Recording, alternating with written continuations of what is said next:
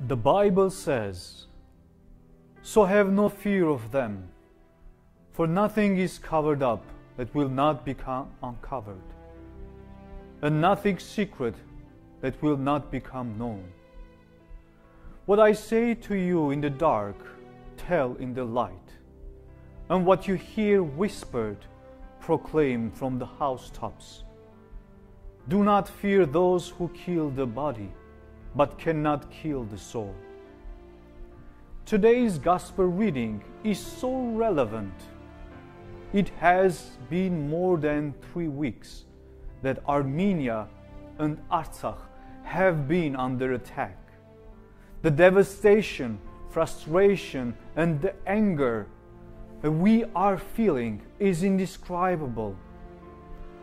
I was born in Armenia, a land full of peace and greatness. I am angry because the rest of the world is indifferent. I am frustrated because the world is silent.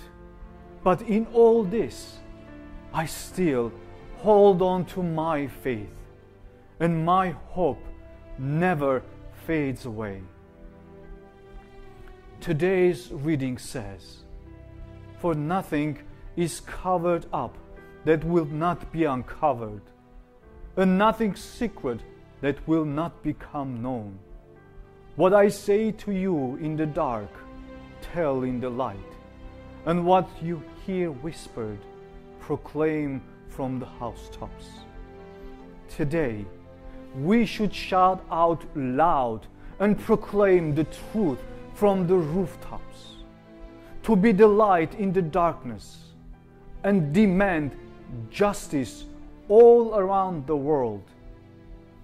I cannot remain silent because the blood of our martyrs screams out from within me. I am a child of Armenia. You are a child of Armenia. We all are the children of Armenia and no one can take this spirit from us. Do not fear those who kill the body, but cannot kill the soul. These words of God are the core of our Armenian identity and the source of encouragement for our people. For centuries, the Armenian people survived with their faith and undefeatable spirit.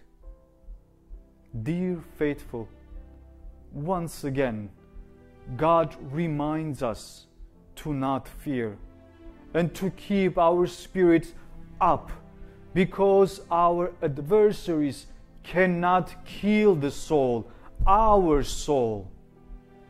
Our spirit is the greatest weapon, and our faith is the greatest gift that God gave us. I am filled with that spirit. Every time I see our soldiers on the front lines with big smiles on their faces, especially when they say, Astvats merhetne, God is with us. Yes, our dear soldiers, keep your spirits high because we are all with you. Dear faithful, our soldiers need our voices, our ongoing support, our hands, and our prayers. Amen.